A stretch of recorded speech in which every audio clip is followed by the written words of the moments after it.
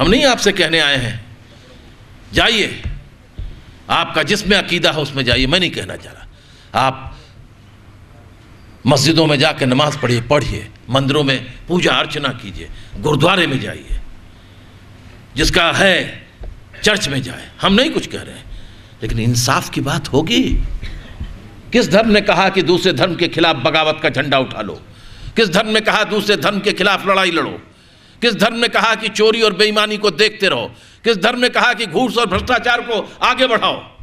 और अगर नहीं कहा है तो फिर उसके खिलाफ लड़ाई होगी कि नहीं होगी? ये सवाल है। ये सवाल है। ऐसे सम्मेलन करने होंगे और करने होंगे। इसका मकसद क्या है? ना हमारी चेहरा इतना खूबसूरत है कि आपको देख करके बड़ा लुत्फ आए और ना आपके इन झुलसे हुए चेहरों को देख कर मुझे कोई रोशनी मिलने वाली है, है? सिर्फ़ कम्युनिकेशन बातचीत का। हम आपको हम सुनना चाहते हैं, आपको सुना मैंने, देखा। हम चाहते हैं कि महाराष्ट्र के अंदर जो लोग नौजवान जेलों में बंद हैं, उनके लिए एक बड़ा सम्मेलन करें। बम्बई में करना चाहते हैं। आप सबका सहयोग चाहिए। पूरी किताब चाहते ठीक कहा।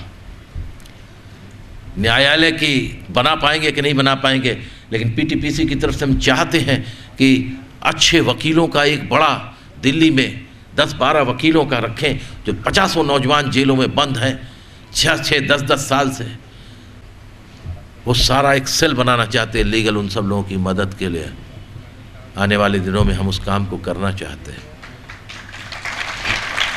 ताकि उनको ला सकें। और साथ साथ सिर्फ़ ये भी कह दें, सिर्फ़ उन्हीं की लड़ाई नहीं लड़ना चाहते।